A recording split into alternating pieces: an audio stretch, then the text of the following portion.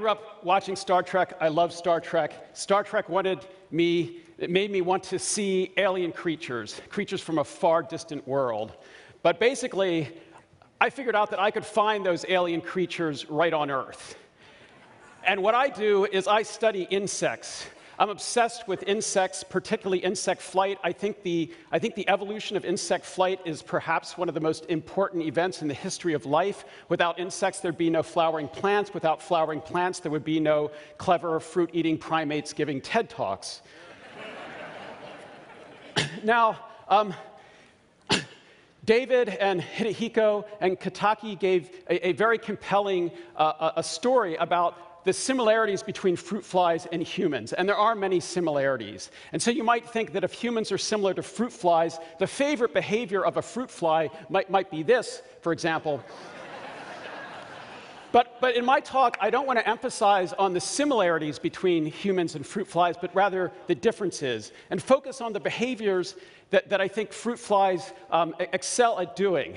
And so I want to show you a high-speed video sequence of a fly shot at 7,000 frames per second in infrared lighting. And to the right off screen is an electronic looming predator that is going to go at the fly. The fly is going to sense this predator. It is going to extend its legs out. It's going to sashay away um, to, to, to live to fly another day. Now, I have carefully cropped this sequence to be exactly the duration of a human eye blink. So in the time that it would take you to blink your eye, the fly has, has seen this, this looming predator, uh, estimated its position, uh, uh, initiated a, a, motor pattern to fly it away, um, beating its wings at 220 times a second as, as it does so. I think this is a fascinating behavior that shows how fast the fly's brain can process information.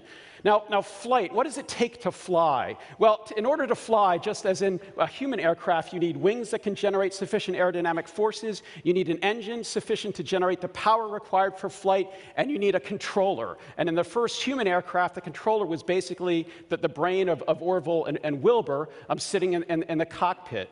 Now, how does this compare to a fly? Um, well, I spent a lot of my early career trying to figure out how insect wings generate enough force to keep the flies in the air. And you might have heard how engineers proved that, that, that, that bumblebees couldn't fly. Well, the problem was in thinking that the insect wings function the way that aircraft wings work, but they don't. And, and we, we tackled this problem by building giant, dynamically scaled uh, model robot insects that would flap in, in giant uh, uh, pools of mineral oil where we could study the aerodynamic forces.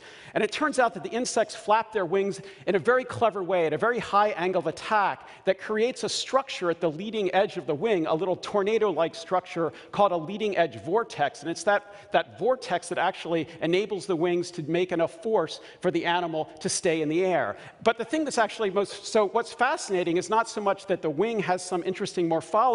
What's clever is the way the wing, the, the fly rather flaps it, which of course ultimately is controlled by the, the nervous system. And this is what enables uh, flies to perform these remarkable um, aerial maneuvers. Now, what about the engine?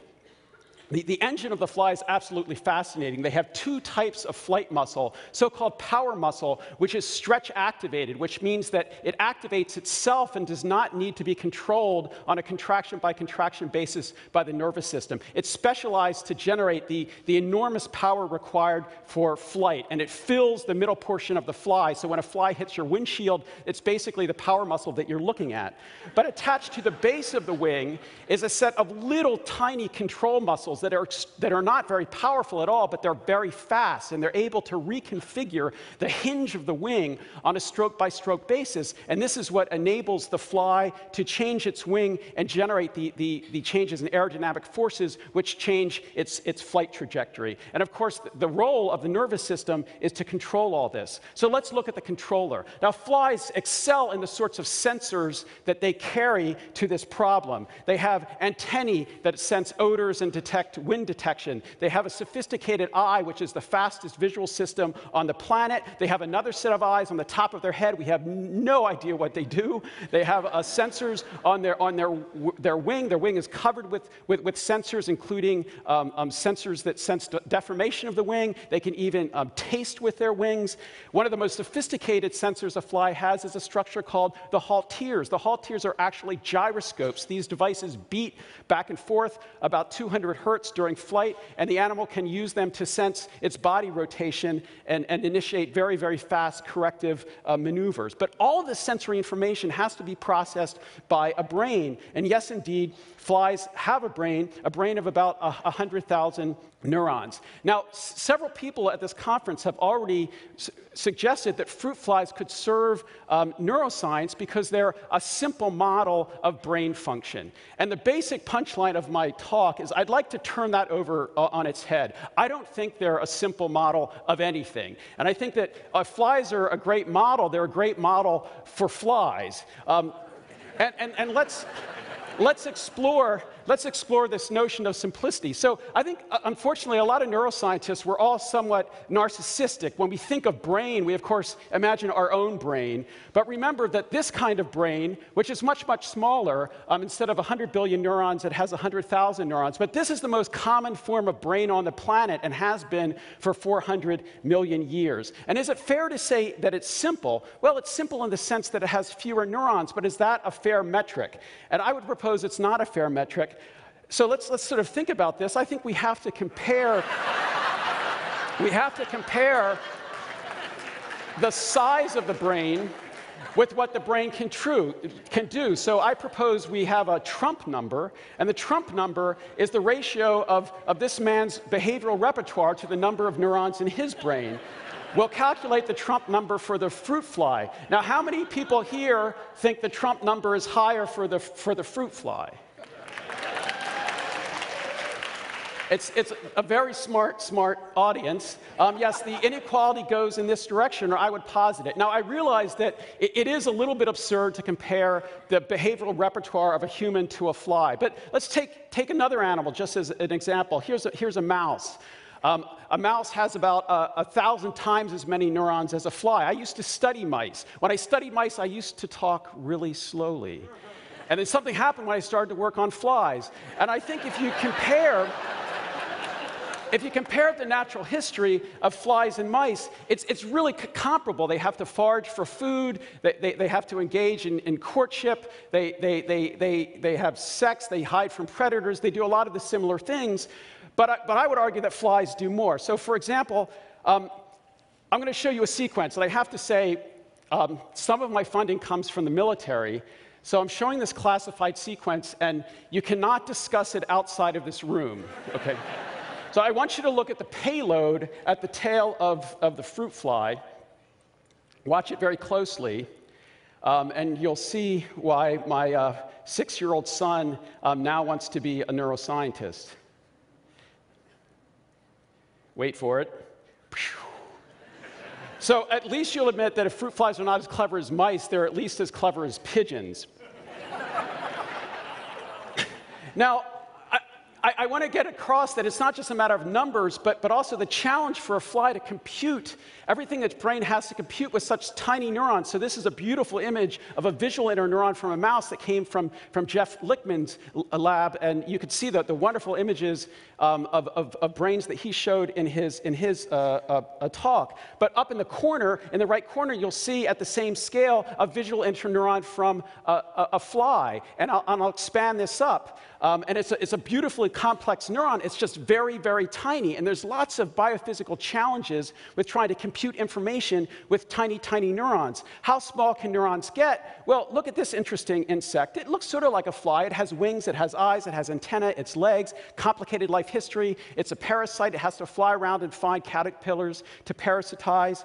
But not only is its um, brain the size of a salt grain, which is comparable for a fruit fly, it is the size of a salt grain. So, a salt grain. So here's some other organisms the, at, at the similar scale. This animal is the size of a paramecium and an amoeba. Um, and it has a brain of 7,000 neurons that's so small. You know these things called cell bodies you've been hearing about, where the nucleus of the neuron is? This animal gets rid of them because they take up too much space. So, this is a session on frontiers in neuroscience. I would posit that a one frontier in neuroscience is to figure out how the brain of that thing works.